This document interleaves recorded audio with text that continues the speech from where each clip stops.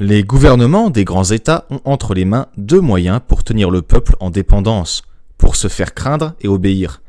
Un moyen plus grossier, l'armée, un plus subtil, l'école.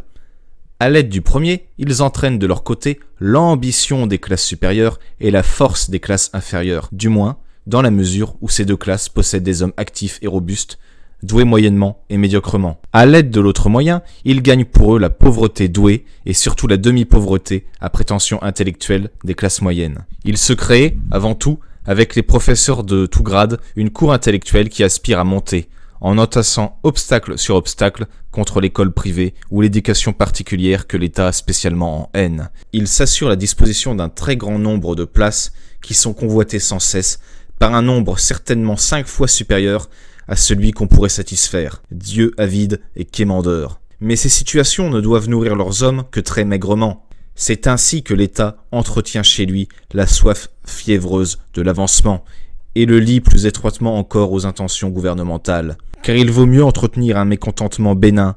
bien préférable à la satisfaction, mère du courage, grand-mère de la liberté d'esprit et de la présomption.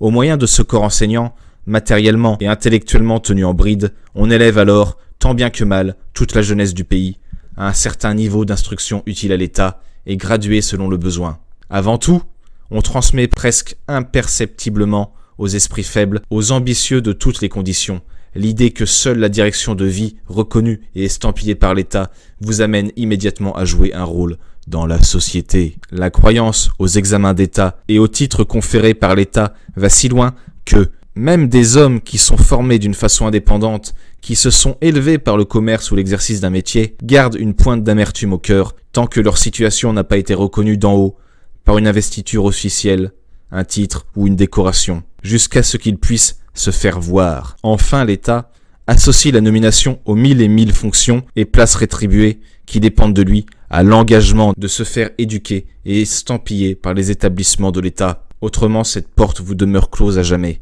honneur dans la société, pain pour soi-même, possibilité d'une famille, protection d'en haut, esprit de corps chez ceux qui ont été éduqués en commun, ceux qui forment un filet d'espérance où se précipitent tous les jeunes gens. D'où pourrait donc leur venir un souffle de méfiance Si, en fin de compte, l'obligation,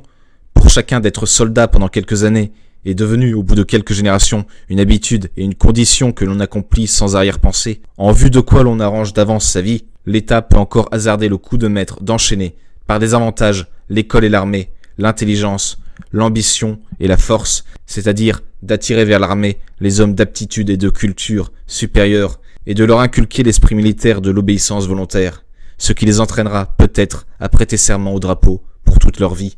et à procurer, par leurs aptitudes, un nouvel éclat au métier des armes. Alors, il ne manquera plus autre chose que l'occasion des grandes guerres, et l'on peut prévoir que, de par leur métier, les diplomates y veilleront en toute innocence de même que les journaux et la spéculation, car le peuple, lorsqu'il est un peuple de soldats, a toujours bonne conscience quand il fait la guerre. Inutile de la lui suggérer.